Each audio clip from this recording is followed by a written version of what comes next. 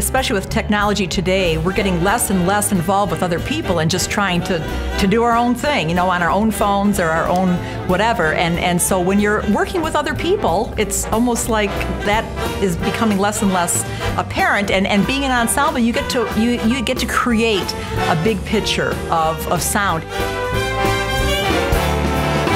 Being in an ensemble, there's a really interpersonal connection with the students that can't be taught if you're self doing everything out in the real world. And I've learned a lot about being a musician just from being here with other people who come from a different background.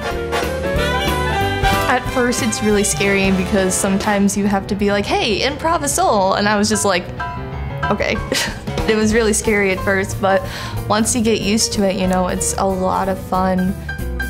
Yeah, so you do end up meeting a lot of people through the ensembles, and um, actually, for me personally, I've found myself playing with the musicians outside of the classes, so it's also a great way to build friendships and all that great stuff that comes along with just meeting people making music is such a such a joy because it frees you. It's a way of expression. You're you're calm. You're um, you're excited sometimes. It really is a way of expressing some inner feelings that other classes don't necessarily give you.